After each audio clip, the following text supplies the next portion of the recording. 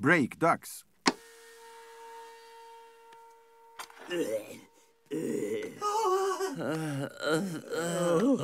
Vet ni vad? Jag brukar ofta kunna njuta av jobbet, men den här dagen har varit brutal. Ja, det känns som vi har byggt det här hederslandskapet i Maylars skepnad typ för alltid. Eller hur? Jag menar, hur vet vi ens om det liknar honom?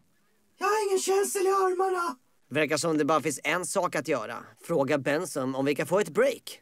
Du Benson, kan vi få ett break? En vad? Ett break? Åh, ni vill ha break? Ja. Jag ska ge er break.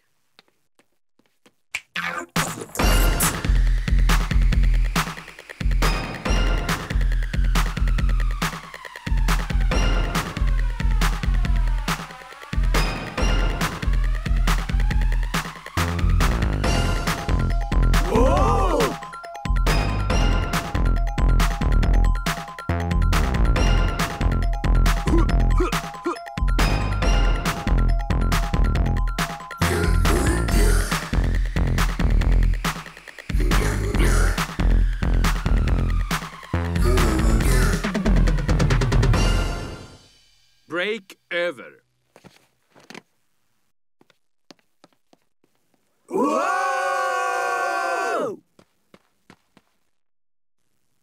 Ah! Mår du bra mannen? Ja, mår fint.